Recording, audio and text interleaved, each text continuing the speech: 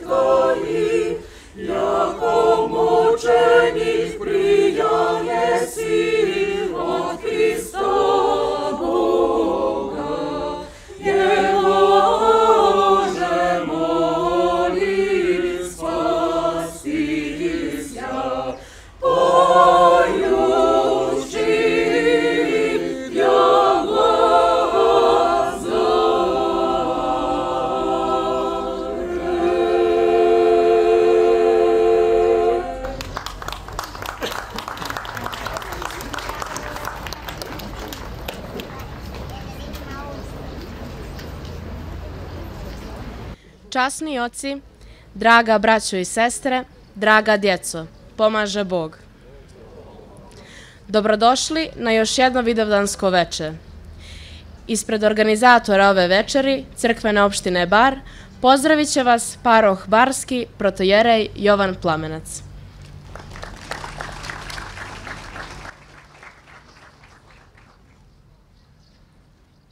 Pomaže Bog.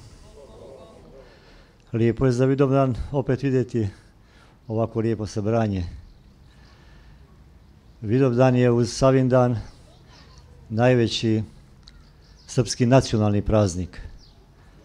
I, boga mi mi u baru ovdje već poduže i na Vidovdan i na Savindan imamo uspješne, lijepe akademije.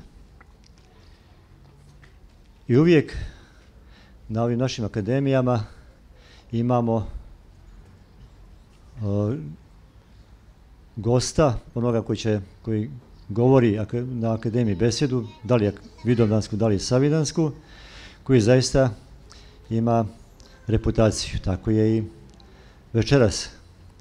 Večeras će nam govoriti profesor Filosofskog fakulteta u Nišu, Dragiša Bojović. Profesor Bojović je čovjek prilično širokog spektra interesovanja i radio i kao novinar i pjesnik je i istoričar književnosti i književni kritičar. Prirodi je puno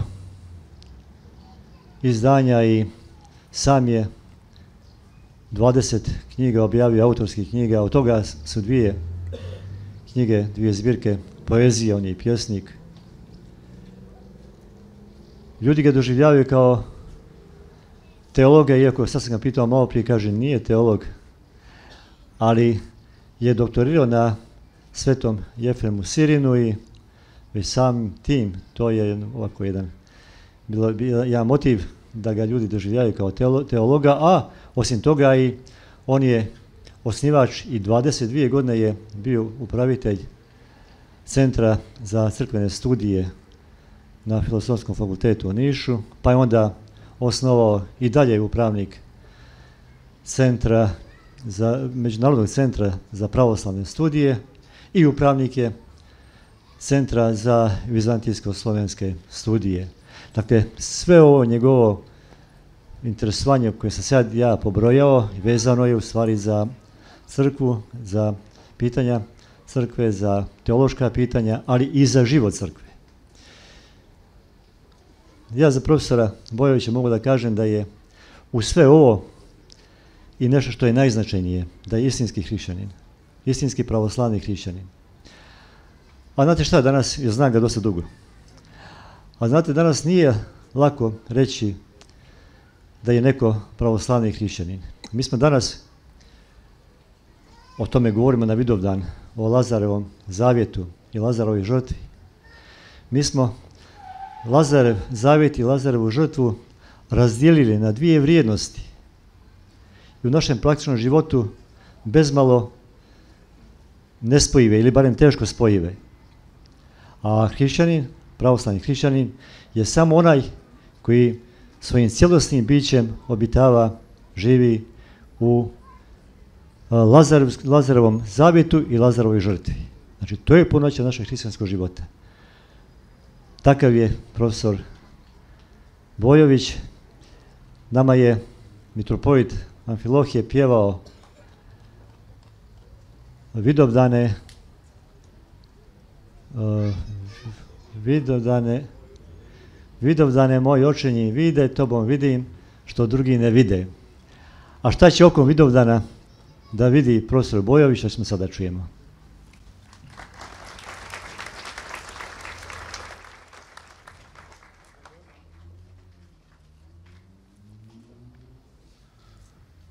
Časni oci, braćo i sestre, pomaže Bog. Ime ove besede Vidovdansko gledalo, pa verovatno ćemo nešto uspeti da vidimo u tom ogledalu. Mera dinamičnosti naše istorije možda se najbolje ogleda u činjenici da smo u prilici da tu istoriju dva puta merimo vremenom pre Kosova i posle Kosova, što znači pre 1389. i posle 1389 ali pre 1999. i posle ove godine. Zato je svako današnje sećanje na Vidovdan istovremeno sećanje i na svaku njegovu repliku kakvih je bilo dosta u našem rodu.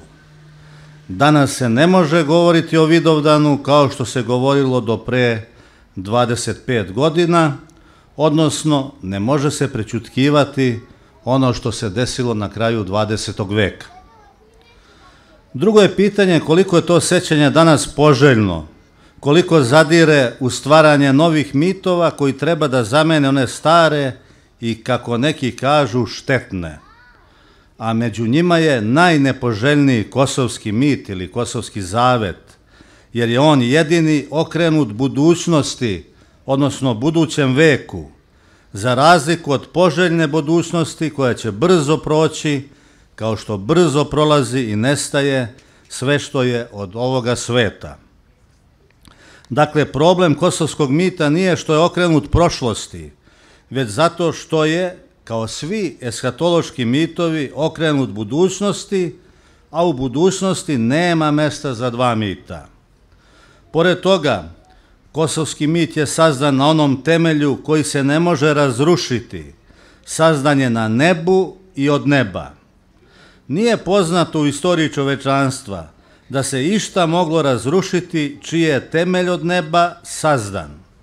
Zato naše vreme postaje prepoznatljivo i po tom besomučnom nasrtaju na mit i nebo, a u stvari se jedan mit želi zameniti drugim, a novi Vavilon i nova kula streme da dotaknu nebo samoljublja i gordosti.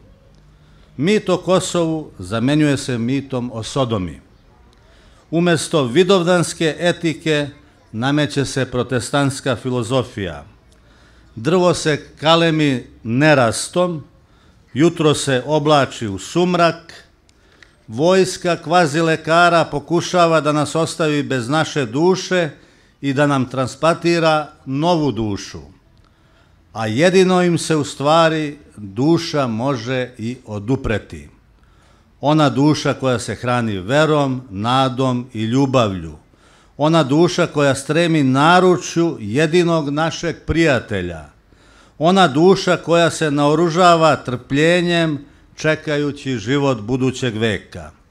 Zato mi dozvolite da večeras ovde podsjetim na nekoliko takvih duša, na nekoliko onih koji su u najtežim vremenima bili naoružani ne samo trpljenjem, već i verom, nadom i ljubavlju. Kosovo je za njih bilo i mit i mesto njihovog ličnog svedočenja Hrista. Ono je bilo i Golgota i nada u vaskrsenje. Takva vera i takvo trpljenje, posvedočeno i zapisano, moglo je biti samo onim ljudima koji su se napajali Lazarevim podvigom i njegovom nadom u carstvo večno. Sva tri primjera govore o vremenu pred neposredno oslobađanje Kosova 1912. godine. Prvi primer, kada je Milan Rakić kao srpski konzul napustio još uvek porobljeno Kosovo 1911. godine, njegov veliki prijatelj Stojan Čemerikić iz Kulanova kod Prištine, rodom prizrenac, već star i iznemogao, rekao mu je sledeće, neću, ne mogu da umrem pre nego što vidim srpskog vojnika na oslobođenom Kosovu. Kada je pesnik Rakić, sada kao vojnik i dobrovoljac, ušao u Prištinu 1912. godine sa vojskom generala Božidera Jankovića, požurio je da ode u Skulanovo. Zatekao je iznemoglog, ali još uvek živog Čemerikića, starca koji imao snage samo da se pridigne i poljubi u čelo Milana Rakića. Upravo je Rakić bio prvi srpski vojnik kojeg je video. Nakon toga je mirno ispustio dušu.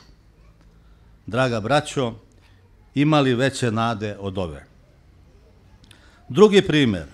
Iste 1911. godine u zgradu Prištinske mitropolije dolazi čiča Mojsil Zlatanović iz tadašnjeg sela Kamenice pod Novim Brdom, to je današnja Kosovska kamenica. Jedan sin mu u turskoj vojsci, a drugi u Gnjilanskoj tamnici. Ne traži on pomoć, sve će da istrpi samo da ima ko da dočeka Srbiju u njegovom selu, da ima Srbija koga da nađe kad bude došla. Objašnjavajući Grigoriju Božoviću, tadašnjem službeniku u Mitropoliji, zašto njegov sin ne treba da beži u Srbiju, kaže i sledeće. Srbija ima dosta ljudi, a ova joj zemlja valja i mi smo vikam tapija za nju. Kad dođe ovamo, dakle Srbija, pa nikoga od nas ne nađe, će ga vrate natrag. Zašto će joj reknu, eto, nema ovde niko tvoj, ne je ovo tvoje. Naravno, imala je koga Srbija da nađe u Kamenici 1912. i Mojsila Zlatanovića. Časni oci imali veće vere od ove. Treći primjer je kazivo episkop Raško-Prizrenski Pavle.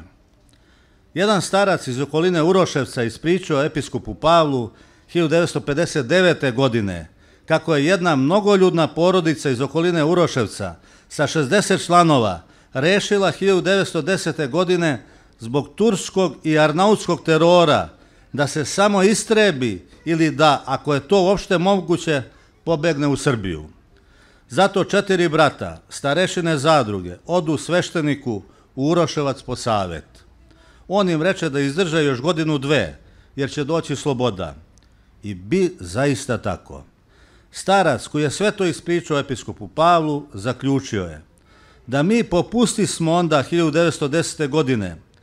Za dve godine propalo bi nam svih 500 godina, za dve godine bi izgubili sve draga braćo i sestre, imali većeg trpljenja od ovoga. Može li išta lepše ilustrovati koliko dve godine znače u ispunjenju onog vremena koje, koje se Božim promislom ispunjava pravdom i istinom? Zato ja verujem da i danas negde na Kosovu i Metohiji žive ona četiri brata što poslušaše savet svog sveštenika. Verujem da je tamo i neki novi Mojsil Zlatanović, Sigurno istu nadu gaji neki novi Stojan Čemerikić, čekajući srpskog vojnika. Verujem da ovde i među nama postoji neki novi pesnik Milan Rakić. Srbija, a i Crna Gora, sigurna, siguran sam, i danas imaju generala Božidara Jankovića, oslobodioca Kosova, ili majora Selimira Ostojića, koji je pre samog oslobođenja 1912. uneo srpsku zastavu u Prizren. Na nagovaranje ruskog konzula da se povuče sa malobrojnim ljudstvom, on će reći ja ne mogu više odstupati. Pobio sam srpsku zastavu u Prizrenu i kraj nje ću umreti. Verujem i da će se u svakoj generaciji našog, našeg naroda rađati ovakve ličnosti. Ko će ponoviti njihov podvig, ko će označiti triumfere, nade i ljubavi, ko će na Gazimestanu pozvati novog Rakića da govori stihove prkos zapadnjačkoj reci, jedino gospod zna. Jer za sve je, kao što videsmo, potrebno ispunjenje vremena. Ispunjenje vremena traži trpljenje, a trpljenje donosi spasenje.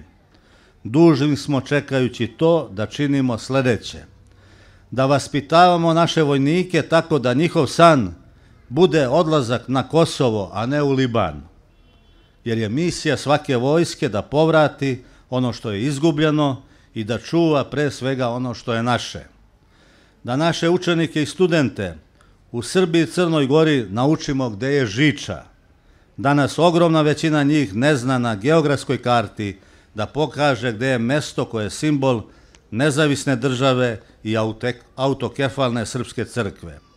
Ako se nastavi sa forsiranjem neprimerenih obrazovnih sadržaja, a sa zapostavljanjem nacionalne istorije i kulture, za neku godinu neće biti onih u školskim klupama koji će znati gde su peć i dečani.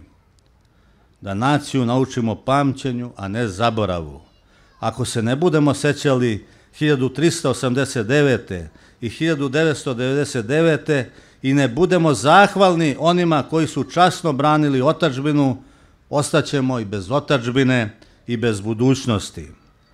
Zato treba zapamtiti da su najveći srpski naučnici Mihajlo Pupin i Nikola Tesla bili najveći zato što im je znanje od Boga darovano i što su izrasli i vaspitali se na Kosovu i na pesmama o Kraljeviću Marku. Zapamtiti treba da Sodoma nikada ne može biti Sion, a Kosovo će uvek biti Jerusalim. Jer kogod se popeo na goru, video je pred sobom ne samo ono pod gorom, već i više od toga kao u nekakvom ogledalu. Video je predele, ali i prošlost, ljude i događaje. Srbima se ogledalo dogodilo na polju. Polje je njihov Olimp i njihov Sinaj. Polje je mesto suočavanja sa istinom. Na njemu se, kao u ogledalu, vidi ko je vera, a ko je nevera. Ostavši na polju tog prvog vidovdana, srpski je vojnik naše ogledalo usmerio ka nebu. Zato se danas u vidovdanskom ogledalu ogledaju i nebo i zemlja. I oni pre vidovdana i oni posle njega. I oni što prebivaju u nebeskim stanovima, ali i oni što zemljom hodaju. Prvima je smirenje, a ovima drugima opomena o ugledanju na one prve. To ogledalo mir i vodu i vatru, svetlost i tamu, u njemu se vidi i ono što je bilo i kad ogledalo nije postojalo. Najviše se vidi ono što će biti uprkos mrziteljima ogledala. Ono zna da zbori više od čoveka. Srpsko ogledalo zna da je drugima narodima lako. Oni su odavno sve svoje ideale vezali za zemlju. Čak i oni koji povremeno streme nebu, to čine kako bi izgradili savremenu Vavilonsku kulu i time prkosili Bogu. Osnovni materijal od kojeg grade tu tvorevinu je gordost. Čak i oni narodi koji su preko pustinje došli do obećane zemlje i oni kojima je okean doneo san o obećanoj zemlji. Blago njima jer ne brinu o nebu. Istorija naroda kome na svu sreću pripadamo je istorija neba. Ne želim da kažem da je taj narod izuzetan. Želim samo da naglasim da je nošenje krsta privilegija redkih, redkih pojedinaca i redkih naroda. Široki put je stramputica. Na širokom, putem, na širokom putu se sudaraju svi oni koji su dovoljni sami sebi. Čoveče koji srpskom zemljom hodaš, ako vidiš narod koji nad ambisom peva, znaj da pripadaš tom rodu. Čoveče koji srpsku zemlju slaviš, zaboravi tužbalicu. Nema više polja nad kojim se plače. Zalu ćeš poći ka labu i sitnici, polje je promenilo lice, reke svoje tokove. Ima nas tamo toliko koliko nam kažu da nas ima, nema nas tamo zato što nas je previše bilo na ovom putu. Zar u Jasenovcu nismo najbrojniji? Da nismo u svome grobu i na svome nebu, ne bi nas prebrojavali od Kosova do Jadovna. Zato se okupili Srbi u nebeskom gradu. Tamo, tamo nema ko da ih prebrojava, svi se Srbi nagnuli nad nebom i čekaju da čuju neko ko će reći nema Srba, nema Srba na zemlji. Čekaju Srbi da još jednom čuju ko prekraja istoriju, za koga je ona opasnost jer predstavlja pokret ka budućnosti. Među njima vojska kvazi lingvista nas ostavlja bez jezika, a vojska kvazi učitelja bez učitelja. Odupire se srpski čovek, ne oružjem, već dušom, jer im se jedino duša može odupreti. Duša ne govori tuđim jezikom, ona ne poznaje tuđe učitelje, ne divi se lažnoj nauci. Ona duša koja se naoružava trpljenjem, čekajući život budućeg veka. Umesto polja, ona će nas sačekati pored laba i sitnice.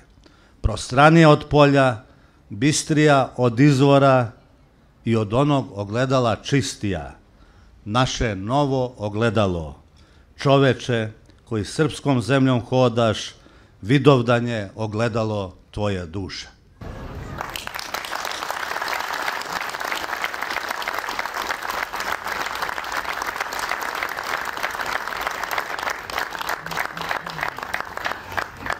Hor Svetog Jovana Vladimira pod dirigenskom palicom profesora Maje Basarab, koji u sabornom hramu prinosi Bogu pjesme i himne, večeras će nam otpjevati tri rodoljubive pjesme. Hriste Bože raspeti i sveti, Pećka Kandila i Ja sam Srbin, srpski sin.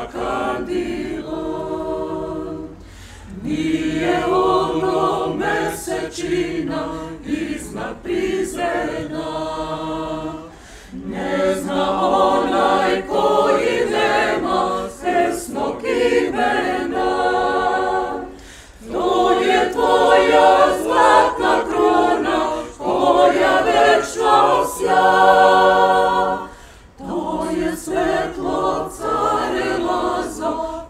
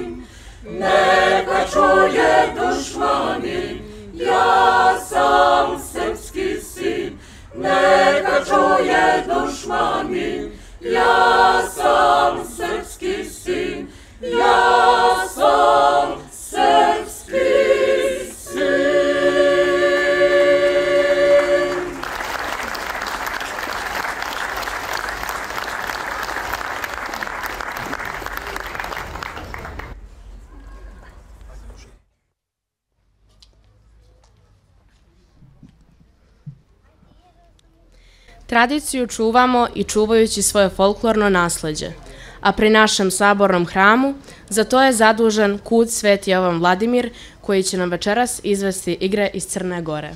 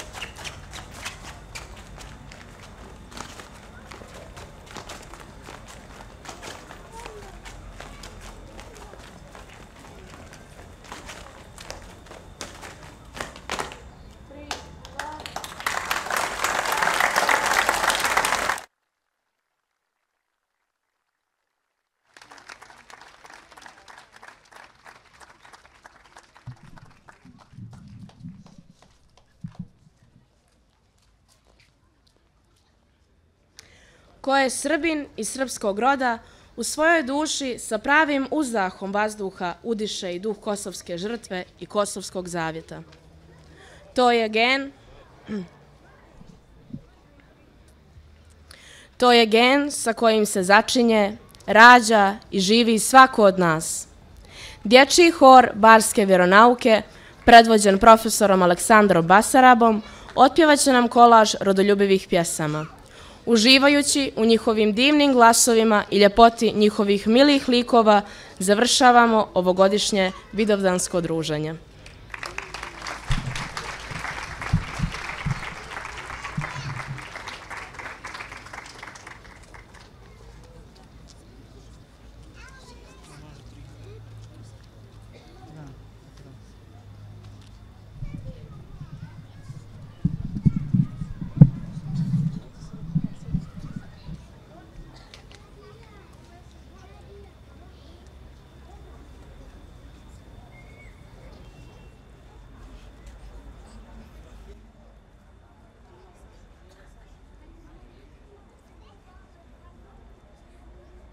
Može li dan bez svetlosti, noć bez mraka, jutro bez zore?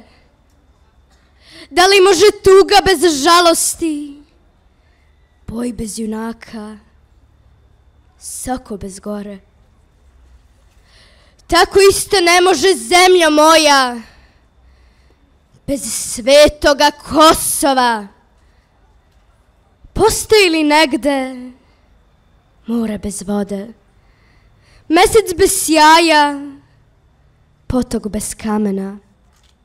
Besmislen je život bez slobode, početak bez kraja, ruka bez ramena.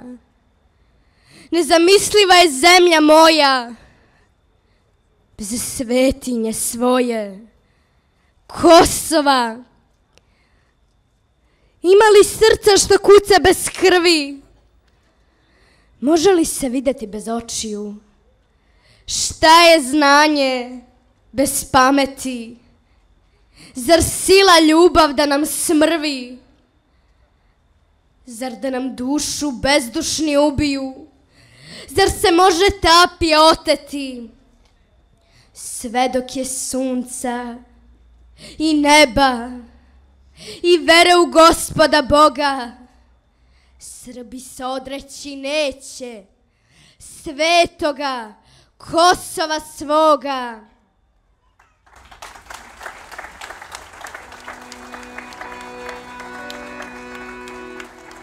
Od malena učila me mati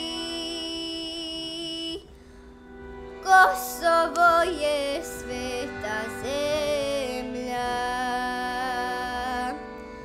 Ne smemo je.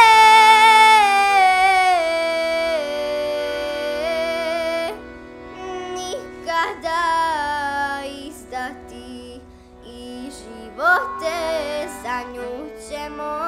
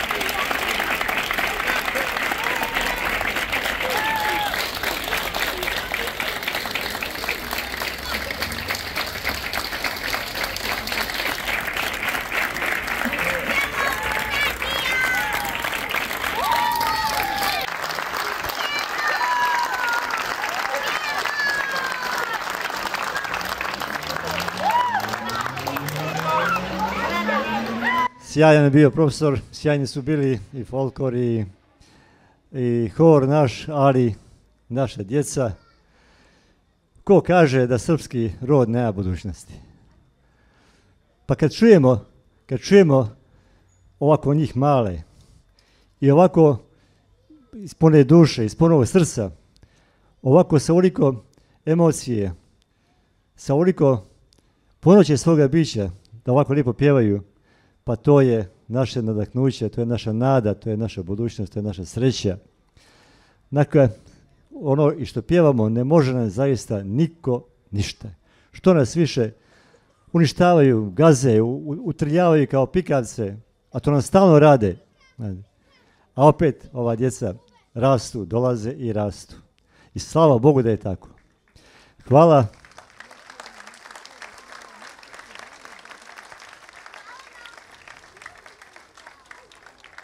Hvala svima noćas što su nam u ovom programu ovo večer ovako lijepo priredili i hvala svima vama što ste došli, što ste ovaj naš lijepi plato, ovaj naš lijepi prostor ispred hrama Svetog Jovana Vladimira ovako bogato popunili. Hvala vam.